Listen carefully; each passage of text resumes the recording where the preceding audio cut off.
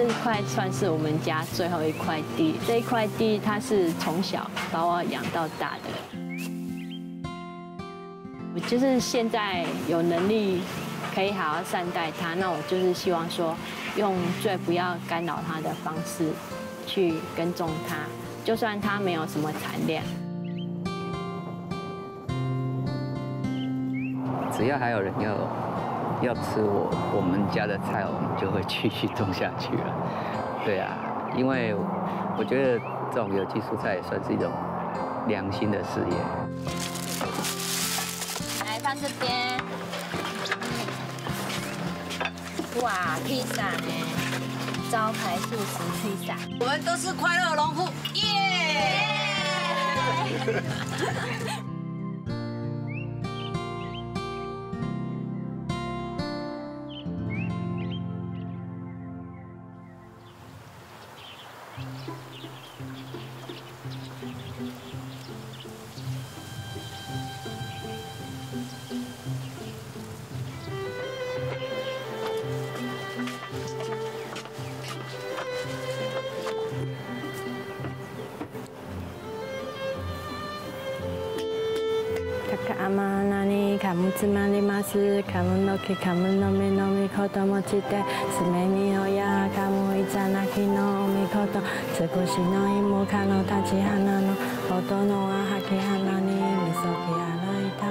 外形娇小柔弱的黄淑娟，五年多前和先生带着两个小孩回乡，在父亲的田地里不疾不徐地按着自己的节奏耕种，自给自足。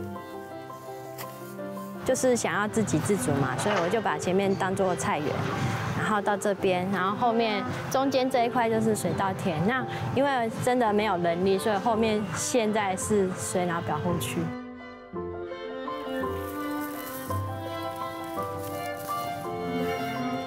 他就是黄淑娟的爸爸黄丰田，七十多岁的年纪，靠着这块田种植稻米和瓜果，养大了三名子女。四年前，他因为身体状况欠佳，把田地交给黄淑娟打理。但是，一辈子的务农习惯终究是闲不住。田间沟渠边的小小空间，他照样能搭起棚架，种一些瓜、豆、时蔬。啊，种红安地菜啊，一种地菜，迄唔免死的，佮煮个做个食。十外岁啊开始啊，啊二十外岁啊做兵转来第一上班啊，兼做事啊。诶，较早就是安尼啊，修行啦，看天公伯啊面子咧，啊，从迄日啊，安尼风甲雨对？啊，你球啊啦，你忙花啊，就无修行啊，哦，啊，从迄果子，迄日啊果子迄荔枝花拢落了了啊，就没有啊，对不对？啊，让我做事人上忙，啊啊上重视的就是做事人。叫啥？杂草啊，叫叫清气啊。哎呀，拢酸酸落啊！这杂草啊，叫啊你，种这杂草啊，这样啊叫啊你哟。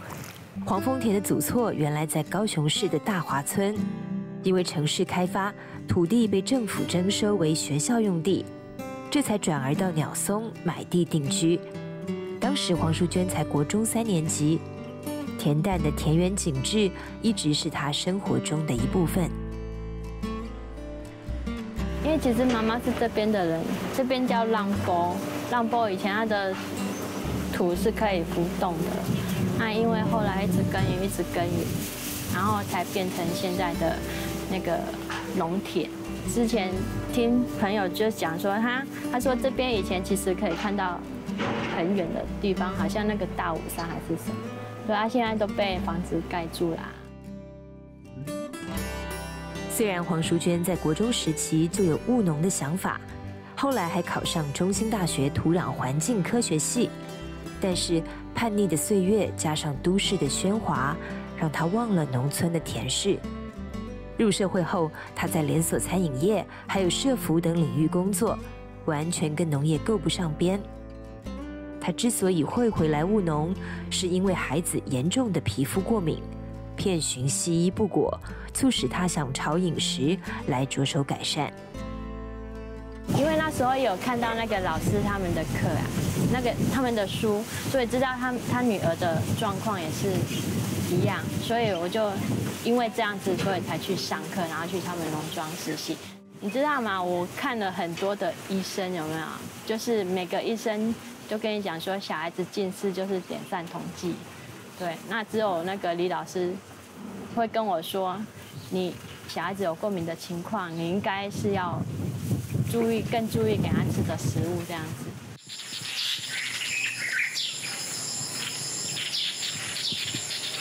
这是野生的桑葚啊，然后它就是每年。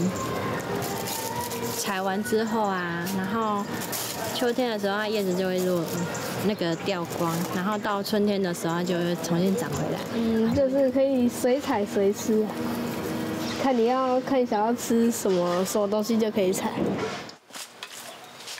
因为那时候就是觉得说自己吃干净的食物很重要。然后要买到用秀明农法种出来的食物更难，所以才想说，那我干脆家里有田，那就自己夏天来种给自己吃，给小孩子吃。带着小孩在田园里随意采食桑葚，这是黄淑娟坚持用自然农法耕种的成果。这期间虽然长辈不支持，双亲不看好，但既然是为了找回孩子的健康。再辛苦也要做对的事。辛苦啊，刚开始就会觉得很辛苦。那那种辛苦就是因为我我不希望让大型机具进到我的田里嘛，那所以你就必须全部要用手工去用。那家人就会觉得说你何必这么辛苦嘛？那那阿姨就会有冲突啊，就会觉得说，嗯，就是就会觉得说啊，我种这么辛苦。就是希望给你们吃到更好的事吧。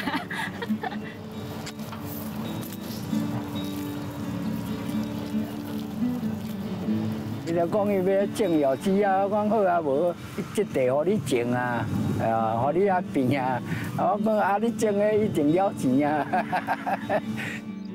算是我们家最后一块地，我只是想说，哎，这一块地它是从小把我养到大的，那。我我就是现在有能力可以好好善待它，那我就是希望说，用最不要干扰它的方式去耕种它，就算它没有什么产量。秀明农法第一个，它是希望农家可以自己留种，因为自己留种的话，你的种子植株会越来越强壮。那如果极端气候的话，就更不会受到损害。采用秀明自然农法耕作多年，让黄淑娟摸索出顺应自然生息的定律，也渐渐钻研出一套心得。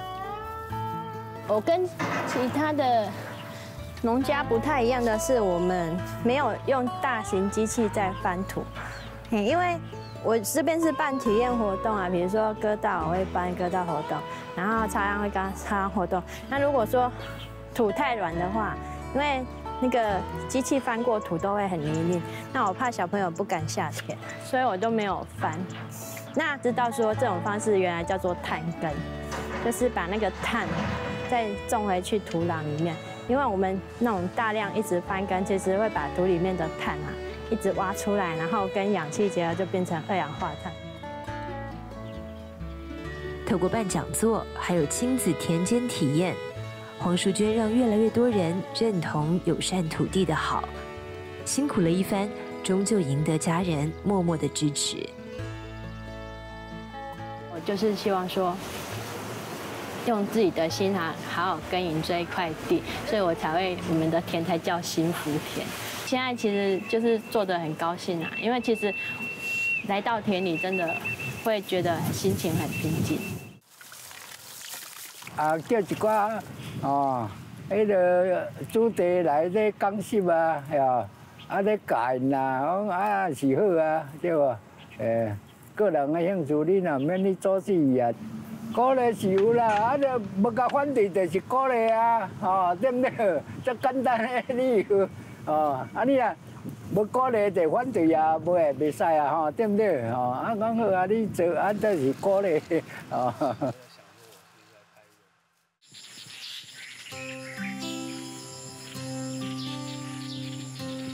他是郭少雍，是黄淑娟在秀明农法上课时的同学。五年前，他在桥头中旗有机专区承租了一甲地，靠着种植当季蔬菜为生。这是已经有点太晚了。早一点的时候，它刚开起来，像蒲公英那样的时候，种子很多，就随便这样敲一下，就会一堆种子掉下来。那像这个叫白的部分，那就是它的种子。这一代的种子，那就记得它可能告诉他下一代的种子说：“哎，你你呃生出来之后呢，就是没没有肥料给你吃哦，这样子啊，你自己要要。”呃，努力一点，这样子啊，种子里面的记忆啊。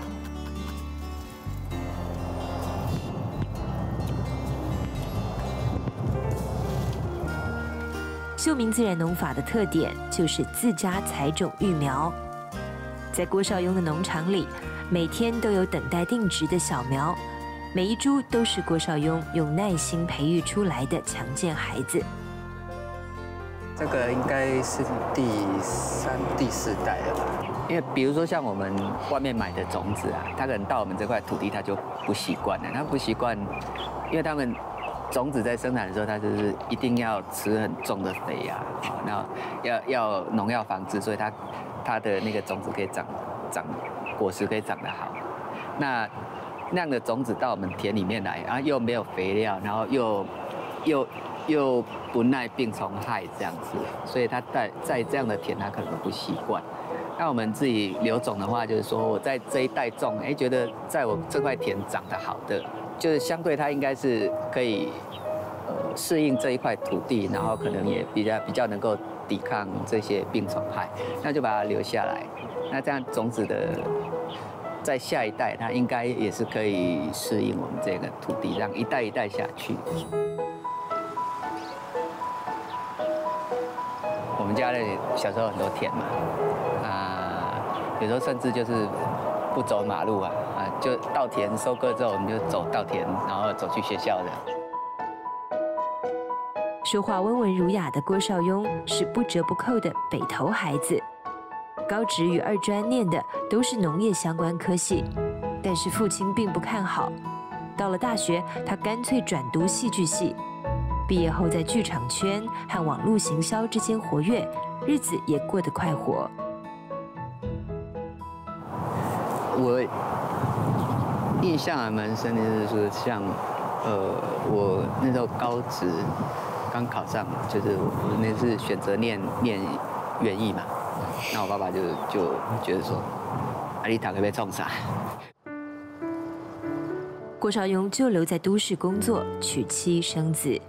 本来以为这就是他完整的人生，不料在二零零四年时，因为父亲罹患癌症，让他开始不顾一切用有机的食物给父亲吃，希望用相对健康的饮食控制父亲的病情。想说为什么这样的西医这样的治疗没有它的效果，然后才去想到就是食疗的部分，是不是说食物？会影响到你的身体，然后所以就开始就去接触到食物，然后食物跟食品的区别，然后我负责跟植物说话，他负责跟人说话。他就是郭少庸的妻子徐婷丽，两人从学生时代就相识相恋，夫妻俩一个活泼大胆有冲劲，一个拘谨内敛有想法。当郭少庸决定转农时，徐婷丽就陪着投入飘鸟计划和学习农业课程。多年来，一边照顾公公、陪伴小孩，一边务农，一直都是郭少庸的稳定支柱。他的家人哥哥也是在南部，然后所以那时候公公生病就接下南部照顾这样。对，所以就一直，所以从那个时候，然后到接触农业，就一直都在南部这里了。他就是一直陪伴，像我们带对小孩也是就是这样，就变成要就是陪伴，对啊，我觉得这个还蛮重要的。收入部分当然跟你有上班的时候是有差，你上班的时候你可以有固定的收入，然后你可以事先做好分配。可是农的话，就很难预估你的收入会有多少，而且有时候就是你可能预计这一批可能会有收多少，但是可能临时来个台风，或者是说突然有一笔就是你需要整地的钱或是什么的话，所以在经济方面就会跟以前真的跟以前在上班的时候就会就会差很多啦。虽然郭少勇与徐婷丽两人很努力的想让父亲恢复健康，但在他们决心从农之际，父亲已经不敌病魔的侵袭往生。不过他们并没有因此放弃友善耕种的志向，反而更努力的想让更多人有健康无毒的蔬果食用。这个菜就是我们整理的时候，待会就是要送去餐厅的这样子。然后我们这个菜，我们可以跟他们就是稍微解释一下，有因为有时候他们就是毕竟不是我们没有我们种的那么了解这批菜的状况这样子，对，所以有时候可能可以跟他稍微解释一下，说，哎，例如说因为天气的关系，可能这批菜会比较苦一点什么之类的，那就请他用稍微别的手法去做烹调这样。其实务农这件事情哈，你不能想得太清楚，想想得太清楚，你就不会。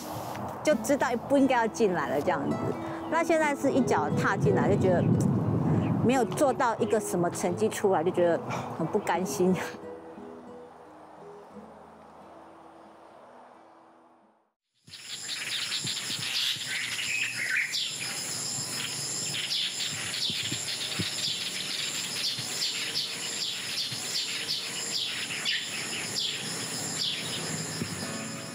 这里是鸟松湿地公园，黄淑娟每个礼拜天早上都会带着自家的作物前来摆摊。这是由高雄市野鸟协会所推动的南方律动市集，目的是透过在地的友善生态小农与民众直接互动，推广友善农法。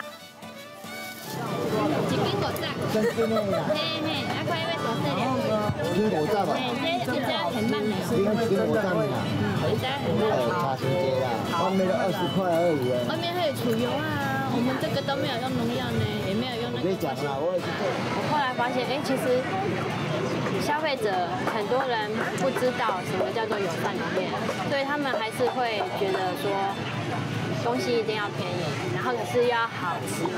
哎那这样子一定就是用了很多农药，可是他们不知道这是用了很多农药，跟用了很多化肥种出来的食物。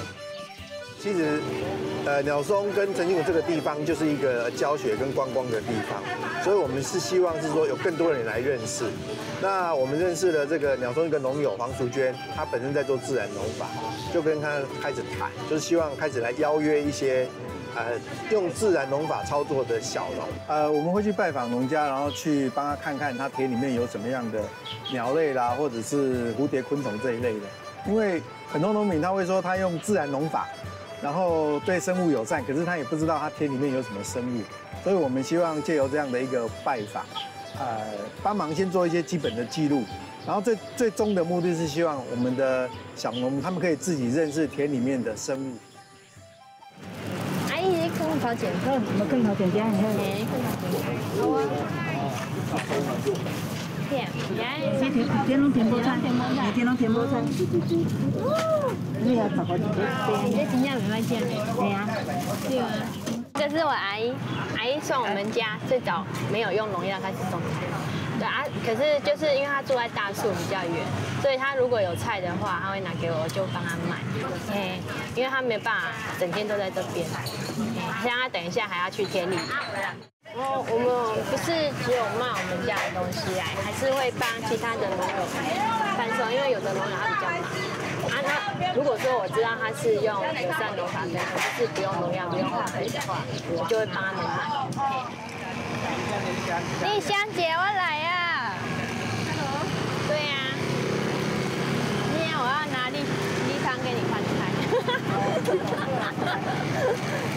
对呀，我我就喜欢来跟丽香姐比菜，因为我们就是会趁着市集的时候啊，顺便因为自己种的菜没那么多，所以就会把一个礼拜啊的菜都把它尽量买齐，啊，就是尽量会跟每个农友买，对。这一物换路也没落啊啦，一包爆米花换这么多，对啊，你看我都赚到了，很划算呢。对啊，友善小农聚在一起，自然的就发展出互助的力量。从熟络的换菜动作，一看就知道庄丽香是黄淑娟的好朋友。她远从大树来到绿洞市集摆摊，因为作物太多，一个摊位常常不够她摆，所以她都会选择最后面的位置。他说：“丽香姐，那个最后一摊给你，为什么让你摆最后一摊呢？因为哈，你可以一直延伸，延伸到城村的门口都 OK 啦。对，就是他们家族种出来的菜，然后他就负责帮忙卖。然后他除了卖菜之外，他还做了很多加工品。对，利用他家规定来看，两点半，两点半比我还早。早上，然后他都闲不住啊，因为他常常最近也是。”腰酸背痛，我就劝他说要多休息，因为因为做有机的农家真的很少，然后我希望他可以做久一点，不要一下子就那个磨损了。我们需要那个我儿子需要很多农夫种菜给他吃。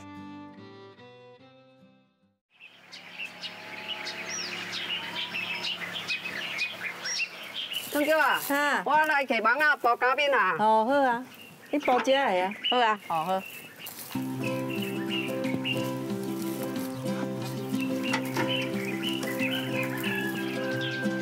活力充沛的庄丽香跟弟弟弟媳都在大树乡务农，农暇之余常常互相串门子，聊聊作物的成长历程。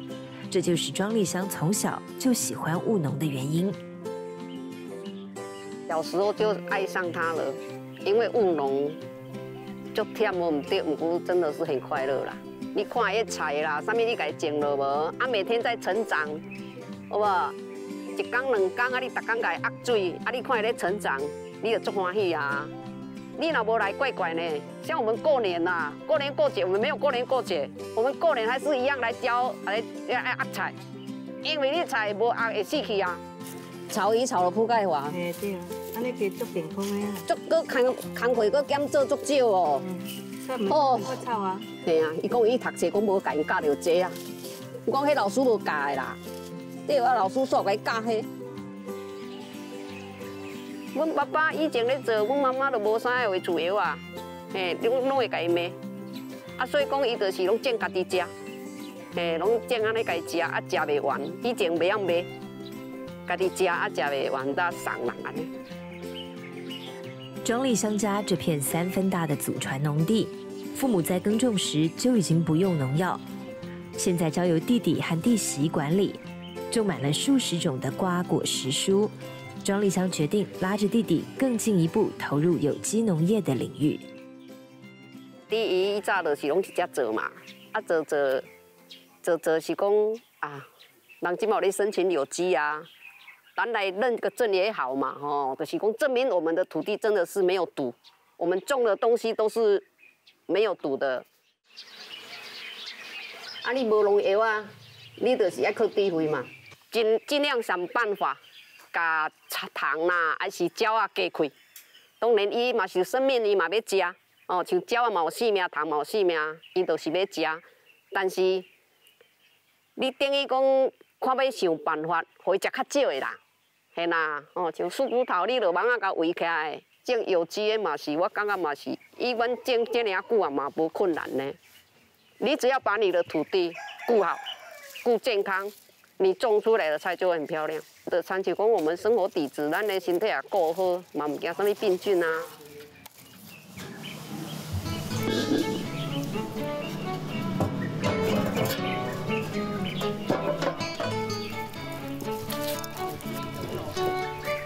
伊拢咬袂到啦，啊！咧咬了，哈，自己来食。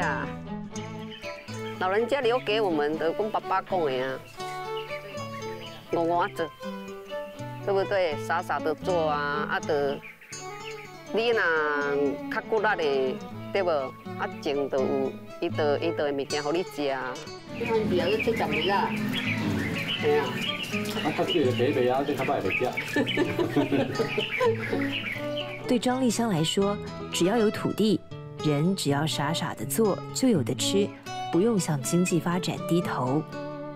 因为前四角，人两脚，再辛苦的做，同样也只是有的吃嘛。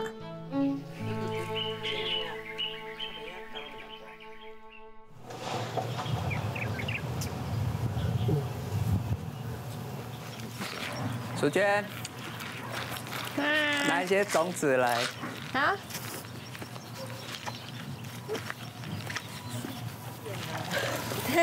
今天这是什么？白菜豆，最近可以种。我们农家最喜欢的事就是交换种子，就是因为其实外面一般的种子都会用药，对，我们就是会跟认识的友善农家互相交换种子，因为这样种子它也会比较长得强壮。黄淑娟与郭少雍夫妻从学习秀明自然农法成为同学开始，就一直互相鼓励。从农业到生活，事事都能分享，希望彼此在辛苦的友善农业道路上走得更稳，不孤单。你们有要种树豆吗？树豆，我今年有育一些苗。有啊。哎，这是什么？你看，你看根瘤菌。你看，你看根瘤菌出来。根瘤菌撸着比较，就是越没肥啊。对啊。你看根也可以这么长。有时候就是你不想种田啊，或是累的时候，就可以到到认识的农夫的田里面来走一走，还有互相呃聊一聊啊，哦，或者是比如说像今天他他这里有树豆嘛，他本来要种，哎，啊他刚好有多的苗，那我们就可以直接拿回去交流。那我有种子种不完，那也可以拿来给他这样子。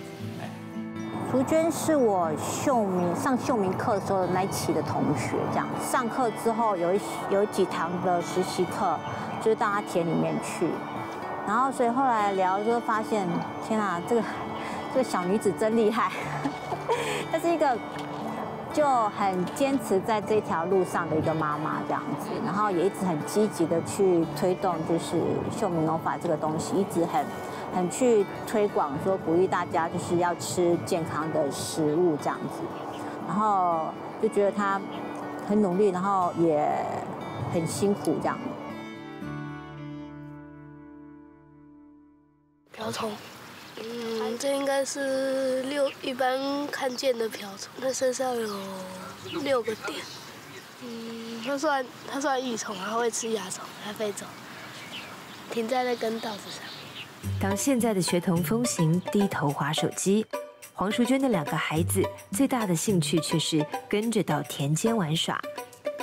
因为长期与泽蛙、水鸟和田野中的昆虫玩在一块儿，他们也玩出绝佳的观察力。福寿螺这种，它那个福寿螺都会爬到那个爬到岸上面的植物去去那个产卵，稻子也会啊。然后之后之后那个它孵化了之后，就会再爬到水里面，就会继续生长。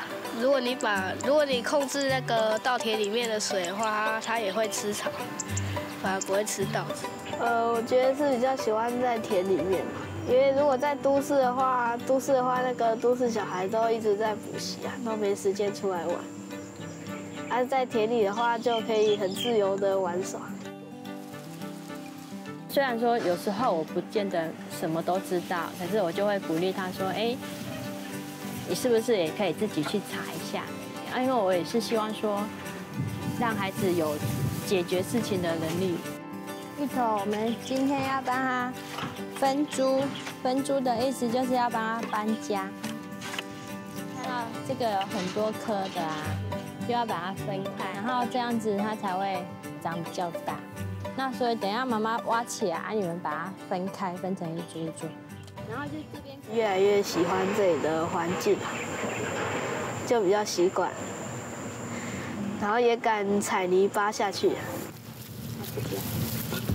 陈哥，你去拿那个刀子，我们来割香蕉、芭蕉树。香蕉树怎么了？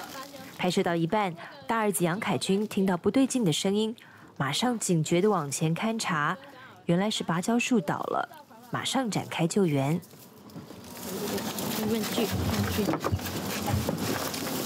可是这个，这个还不够饱满，可是它还是会变黄，所以还是可以吃，只是味道可能就没有那么香甜。好了，那我们来切。你看这有香蕉油，就是刚刚就突然走过去啊，然后就，然后就听到是这样的声音啊，他就看那个香蕉树，他就要倒了，然后就赶快去扶他。然后因为它很重，所以手手会有一点痛，他就赶快就赶快喊树倒了，啊 啊别人就来了，就来帮忙。所以要赶快求救，不然等下被树压到了反而不好。他们在大自然这个环境里面啊，我发现其实他们的观察力啊都很敏锐，甚至都比我还厉害。嘿，那其实其实我们就是说，如果说用自然耕种的方式的话，其实就是说要靠我们的眼睛跟我们的耳朵，然后去观察作物的生长变化，而不是说想到说作物生病啊，我们就可能只会想到用用农药啊，然后长不大，我们就想说要一直施肥啊，这样反而会破坏那个土壤。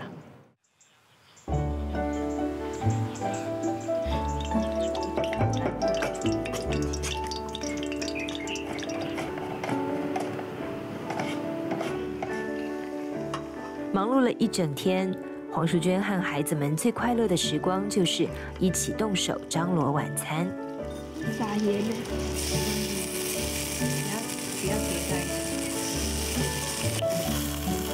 他们现在就是没有食物，就会自己想办法找食物自己吃。餐桌上的食材都是认识的农家，像那个鸡蛋就是丽香姐家的鸡蛋，然后莴那个莴苣就是我们刚刚拔的菜，给你拔的菜。吃饭喽！谢谢，感谢上天给我们这么丰盛的食物。那我们要说什么？谢谢 Miss Summer，哎，我们开动喽！对他们说，我的招牌菜就是大锅菜。吃的是粗食淡饭，但是心里却有满足的微笑。孩子们很少再过敏，这就是黄淑娟从农所找到的健康生活。基本上我也会跟他们讲说，其实食物这些食物都是农家好不容易，自然农家好不容易用友善的方式种出来的，然后就是希望他们都可以把它吃完，所以我们基本上都会把它 分配好。因为啊，都是那个几乎都是从我们田里来的菜啊，然后那个都是水煮的，还蛮健康的，很幸福的感觉，可以自己手做的。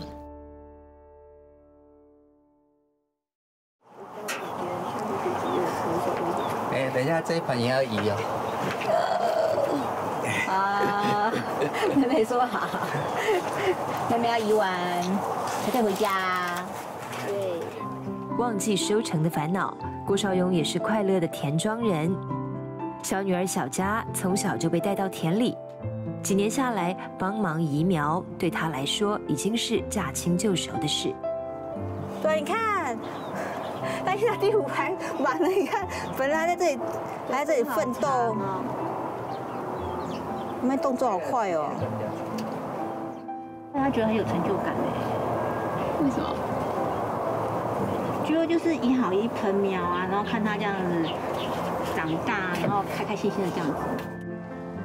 从小就是跟着来田里，对，然后就学了很多，就是跟着爸爸帮忙一起做事情啊，然后有时候会种种自己的，就是像是木瓜这种之类的，就把自己的种的育苗的东西把它种在田里，然后长大之后就可以采收了。阿比，这个要种哪里呀？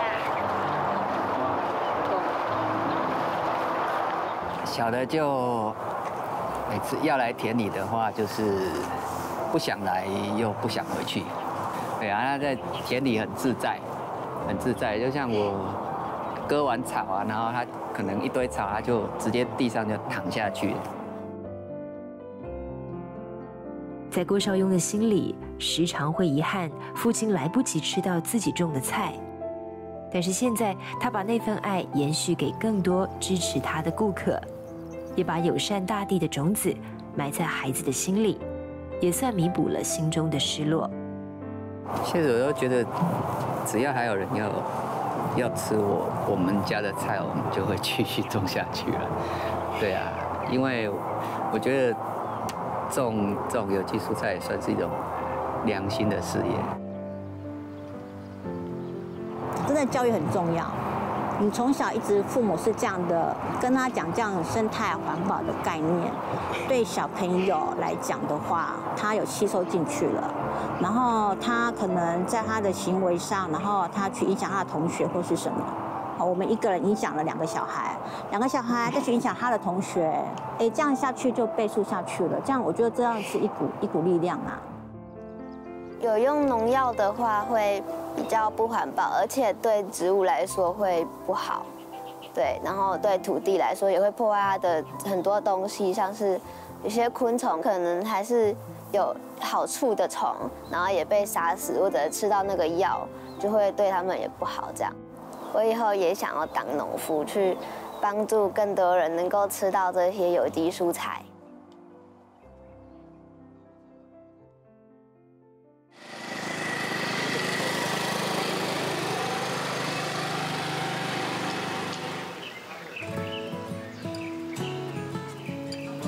这里是凤山黄埔新村眷舍，在高雄市政府文化局以住代户计划下，鼓励以实际入住的行动力，延续台湾眷村聚落的居住形式。黄淑娟也申请了这项计划，经过一个多月的修缮，使这栋七十五年历史的老房子重新发挥使人安居的价值。现在这个地方来挖一个生态池来种一些水生植物，应该是适合。嗯，真的吗？对，我一直很想种菱角。种菱角啊，种呃莲花，莲花可以用。嗯，首先你这一排啊，最好是种那个喜欢水的岸边植物，像那个。其实有一些呃野姜花，野姜花或者是什么过汤沙啊，什么什么小白笋，小白笋或者什么呃可以吃的的芋头芋头，对，芋头也是很好。今天黄淑娟的新家特别热闹，因为他开放自己的家，成为推广自然农法的基地，要把庭园打造成家庭菜园，邀请讲师来上课，让有心投入友善耕作的朋友都可以前来交流。现在都市人好像都觉得说种菜很难，然后可能就是一定要到乡下才能种菜。好，那无形中他跟大自然的距离啊，就是会离很远。所以就跟凤山社区大学这边，就是我们就一起申请这个计划，就是把这边除了自己可以住之外，然后也把它当成一个秀明农法的推广基地。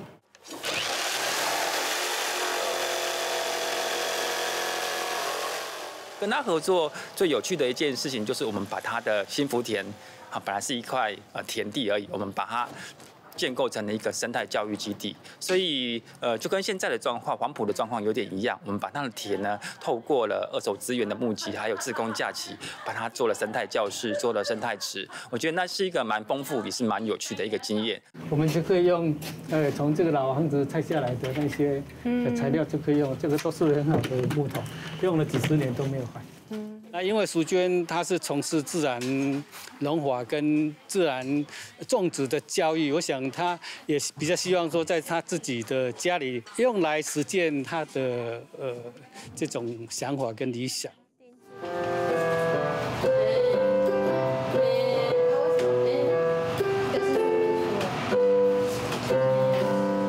搬来这理想中的基地之后，黄淑娟的孩子乐得充分使用空间。许多角落都有兄弟俩的小巧思。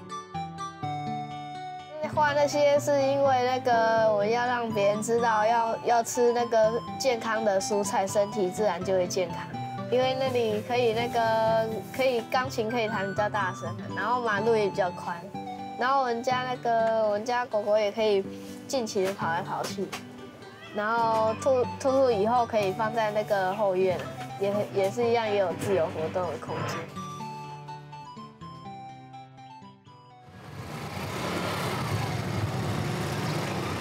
同学，大家早。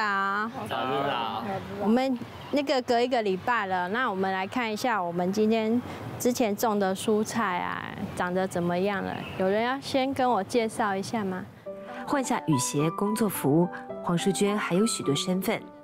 她是食农教育推广者、社区大学讲师，而今天她是专业与亲切度相当的园艺治疗师。安高商他这边就是有提供一个讲师，就是带孩子在做园艺方面的事，让他们认识植物怎么来的，然后植物种出来之后呢，他们可以做怎样的料理，然后就是希望说可以让他们的情绪啊，可以获得一些舒缓。孩子他其实就是会有情绪比较暴动的状况，就我们会。带着孩子帮植物祈祷啊，然后跟他说话，然后透过这个过程，我发现有的情绪暴躁的孩子，他到学期结束的时候啊，就整个性情就有改善。近年来，务农成为一股风潮，黄淑娟乐见越来越多人愿意投入农务，但她也以自身经验分享。千万不要让热情因为经济窘境浇灭了。务农真的是很难 维持生活，所以其实其实务农有很多方式呢，有专业生产的嘛，那你就是专业农家，那你也可以半农半的开始啊。务农其实是要自给自足，对啊，所以我有在外面做那个推广教育的工作嘛，然后也有在做园艺治疗的工作。你看，这就是咱顶界无输输花料甲输果料的结果位置，哦，啊，今日咧教的无就是如何套蛋。邱耀中耕种的田在黄淑娟家的格林，被黄淑娟影响，他用自然农法种植蔬果好几年，但收成一直不好。他的父亲下了最后通牒，准备铲平重练。幸好在黄淑娟与凤山社区大学的协力下，成功招募到三十位股东，让这片莲雾园躲过一劫。阮爸爸也讲哦，到今年无，那拢莲雾若无够有收成的时无，伊就要用怪手搞开。泥土这是大地的物件无，咱逐工踩在土上，那种亲切的感觉。拢要毁掉的时嘛，就像我们附近足者农田嘛，拢已经开始工厂化，啊，渐渐这农地拢无呀，对于阮农民来讲呢，是大的损失。你来看这这一串哦，有五颗，五颗莲露，五颗哦，嗯。多可以哇，那个最多可以六颗。他们都做不到。因为我们这边鸟松地区，它比较已经算是靠近都市了，所以其实也面临到农地越来越少的问题，就是都变成工厂呀，不然就是回收厂，要不然就是等着变建地。那可是后来我慢慢去认识这些附近的青农，我发现，哎，其实友善耕种的农家真的。很多。如果说我们可以把鸟松这一块变成我们高雄市的后花园的话，那那个高雄市的那个亲子啊，他可能就不用需要花很长的时间，然后去这美容啊较远的地方，他就可以就近带着孩子来这边。这其实也是我跟邱大哥想要在这个地方做的。从农几年下来，黄淑娟认识不少像邱耀忠这样的回农年轻人。每次看到他们彷徨无助时，总会想办法去协助他们。在他的观念里，分享和交流可以蹦出许多创意火花。今天要来野餐吗？对啊。哇，太好了！带了很多吃的过来。谢谢。不客气。来放这边。今天刚好我们有一个农家聚会，就是有几个朋友很支持我们农家，他们会定期来找我们农家。那今天介绍给大家认识一下，这个就是在大师的丽香姐啊，我们都说她是前辈，她已经做有机友善耕种十几年了。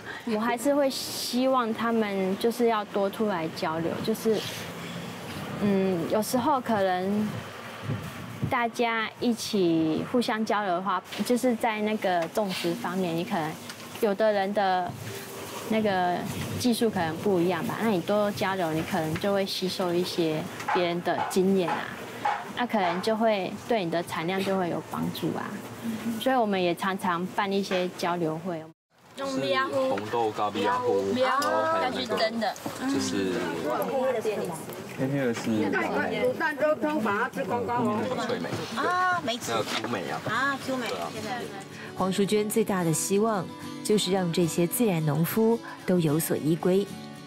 她试着结合支持在地友善食材的餐厅老板，把吃健康蔬食就是友善大地这样的概念慢慢扎根，在鸟松这片土地上一起做快乐的农夫。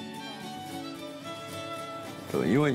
惯性农法，因为它呃肥料加的重，所以它坦白讲，它的味道是非常平淡的，它不会有很明确，比如说甜椒不会有，因为它只有甜，然后它不会有呃椒类的香味。呃，其实我因为我们自己开餐厅嘛，那对于餐厅的话，我们会希望说对食材有更多的认识，所以透过这个认识的话，我们就先开始逛市集，从呃高雄有像微风有机市集，或者说消防安心市集这些开始。那在跟农户的接触当中，我们逐步去筛选，或者说，哎，可能这个农户他对土地的理念是什么？那从中我们就呃认识了我们很喜欢的一个食食材的一个供应商，也是很棒的农户，就是郭少用郭大哥。哦，我餐厅的话，主要就是没有用蛋奶的纯素的餐厅。那主要就是想要就是告诉大家，就是吃素救地球，这是很很简单一个概念。其实我之前看过一本书，然后他有说到，其实化肥跟农药就是化石燃料做出来的。那其实如果说我们想要嗯吃，因为环保而吃素，那我认为那因为环保而吃素，更应该吃干净的素食，所以就想要用这些就是友善大地的食材这样子。因为其实很多人都会觉得说。友善大地很困难，可是其实不会，我们从吃从吃就可以友善大地了。我们都是快乐农夫，耶！